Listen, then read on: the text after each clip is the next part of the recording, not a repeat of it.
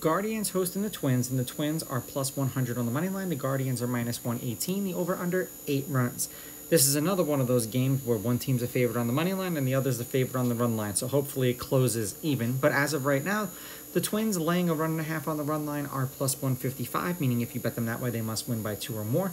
And Cleveland getting a run and a half on the run line are minus 188, meaning if you bet them that way, and they win this game outright, you win. They lose by one, you win. The weather in Cleveland is supposed to be 71 degrees, a 22% chance of rain, and 3 mile an hour winds. So basically, a beautiful day provided that it doesn't rain. Now, Woods Richardson did not pitch against Cleveland either last year or this year. McKenzie pitched against them once last year, five shutout innings. They won that game two to one, and he struck out ten. Minnesota is going to need some kind of bounce back after getting their asses swept by the Yankees, but seemingly Cleveland owns them just as bad as the Yankees do. Head to head, Cleveland's on a three game winning streak. Cleveland is seven and three. The road team's on a two game winning streak. The road team is eight and two.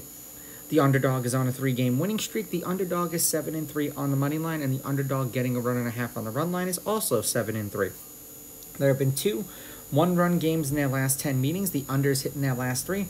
The under is 7 and 3, and the under 8 is 7 and 3.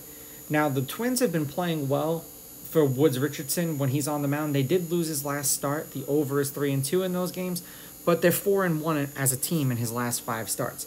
He's averaging five innings pitched, five hits, two runs, 1.8 of which were earned, 4.6 strikeouts per game, 1.2 walks, 0.4 home runs. He gave up two home runs in his last outing that they lost, 85.6 pitches, and 17.8 pitches per inning.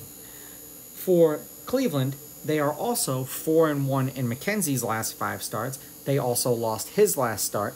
The under has hit in his last three starts, and the under is 3 and 2 in his last five starts five and a third innings pitched, 4.2 hits, 1.6 runs, 1.4 of which were earned, six strikeouts, 2.4 walks, 0.6 home runs, 84.6 pitches per game, and then 15.7 pitches per inning on average in his last five starts.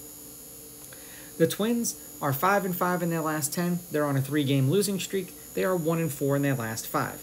6 runs, 6 runs, 4 runs, 5 runs. 5 runs and a win, 1 run and a loss, and then back-to-back games where they didn't score any runs against the Yankees.